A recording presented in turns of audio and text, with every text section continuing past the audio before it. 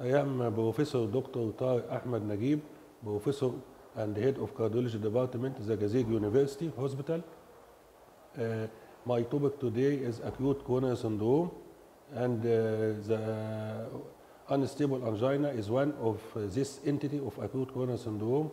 The definition of unstable angina is uh, chronic stable angina change its character either frequency or intensity or frequency all uh, duration of chest and also chest occurring at rest.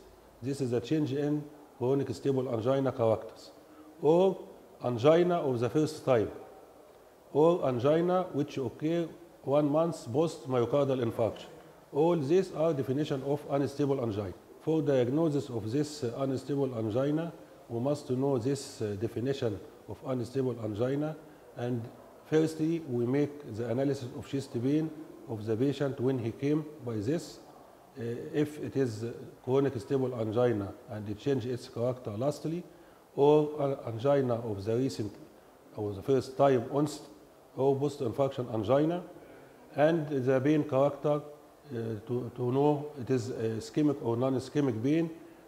By this character, patient is having chest pain retrosternal, compressing, may be radiating to the back or left shoulder, and the radiation area may extend from the umbilicus till the lower jaw.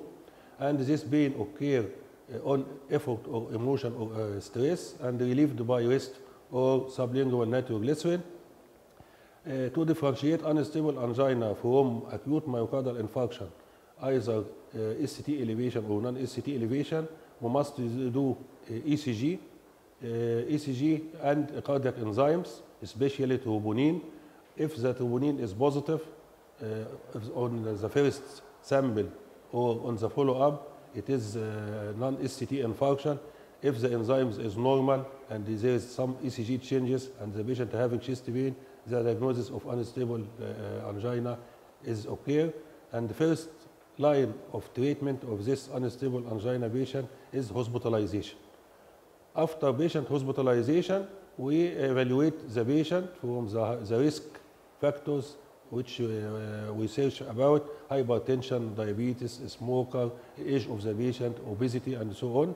And uh, if there is any disease associated with unstable angina or no, and uh, we start the diagnosis by ECG, cardiac enzymes, echo or bedside echo to see either patient having wall motion abnormality or not, and uh, to exclude other causes of chest pain, maybe mimic uh, unstable angina. And once the unstable angina is diagnosed, we start uh, acutely the treatment, intensive medical therapy, dual antiplatelet loading, anticoagulant, and beta blocker, anti-nitrate, and so on.